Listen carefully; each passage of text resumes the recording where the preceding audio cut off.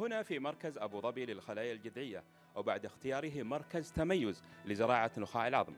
ماذا يقدم المركز؟ وما هي أبرز خدماته العلاجية؟ نظرا لامتلاك مركز أبو ظبي للخلايا الجذعية للبنية التحتية المتطورة وتقديمه خدمة عالية الجودة لزرع نخاع العظم وزرع الخلايا الجذعية المكونة للدم وفق أفضل وأحدث الممارسات العالمية. كل هذه العوامل أدت إلى اختياره كمركز تميز لزراعة نخاع العظم من قبل دائرة الصحة أبو ظبي وسيقدم المركز مجموعة متكاملة ومتخصصة من الخدمات العلاجية من أبرز الخدمات اللي يقدمها المركز إنه يجمع بين البحث العلمي المتطور مع تطبيق البحث العلمي على المرضى هو زراعة الخلايا الجذعية أو بما يسمى الطب التجديدي.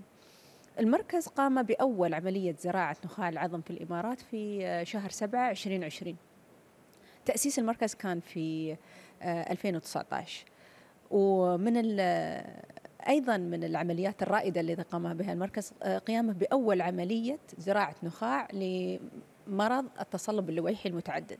كما يوفر برنامج زراعة نخاع العظم في إمارة أبو ظبي منظومة شاملة ومتكاملة مصممة لتنفيذ الحلول المبتكرة والأبحاث المتقدمة والعلاج بالخلايا الجذعية. مستقبلا يسعى المركز من خلال طبعا التجارب في الطب التجديدي وفي الخلايا الجذعية لإيجاد حلول الحلول في الأمراض المناعية داء السكري من النوع الأول مرض التصلب اللويحي سرطانات الدم والعلاج المناعي الذكي اللي يسمونه الكارتي اللي هو أخذ الخلايا المناعية من جسم المريض وهندستها وراثيا ونحطها في جسم المريض مرة ثانية لتحارب السرطان نفسه.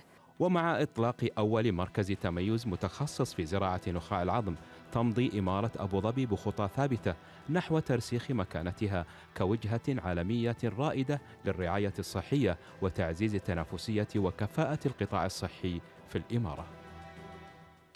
وللحديث أكثر حول اختيار مركز أبو ظبي للخلايا الجذعية مركز تميز لزراعة نخاع العظم في الإمارة. نرحب في استوديو علوم الدار بسعادة هند مبارك الزعابي المدير التنفيذي لقطاع منشآت الرعاية الصحية دائرة الصحة أبو ظبي. آه مرحبا بك معنا في نشرة علوم الدار. يا مرحبا بك أخي. الله يسلمك.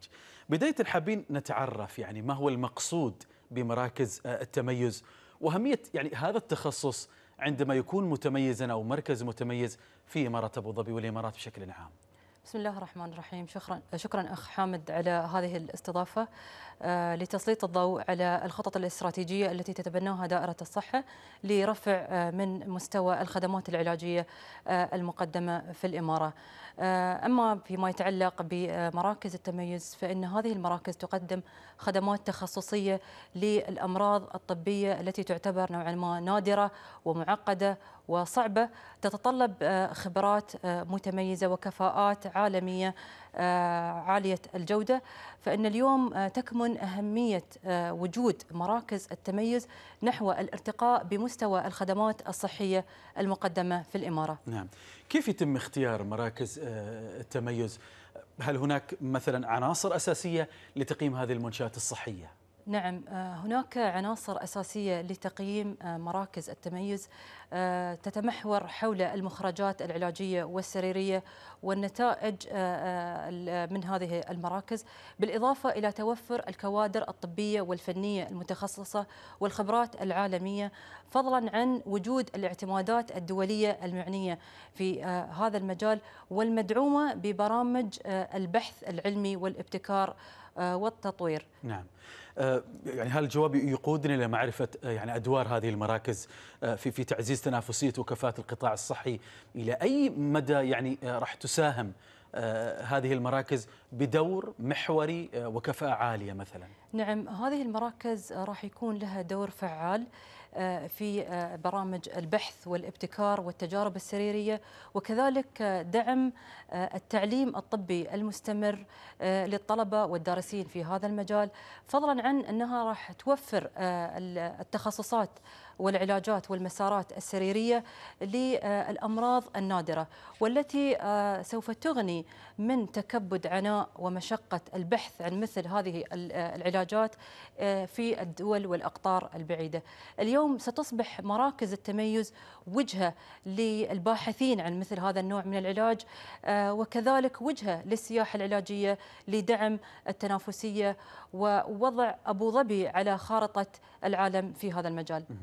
آه، ما هي الخطط المستقبلية إذا صح التعبير في, في, في مثل هذه المراكز وانتشارها وأيضا آه، تعميمها إذا صح التعبير بشكل أكبر؟ نعم آه، سنشهد خلال الفترة القادمة إن شاء الله إعلانات أخرى لمراكز تميز قادمة.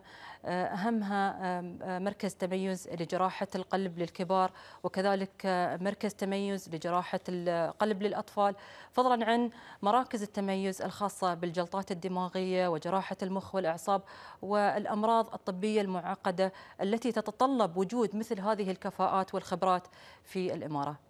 اتمنى لكم توفيق دوما. شكرا لحضورك معنا في استوديو علوم الدار. سعادة هند مبارك الزعابي المدير التنفيذي لقطاع منشاه الرعاية الصحية بدائرة الصحة أبو ظبي. شكرا جزيلا لك. شكرا.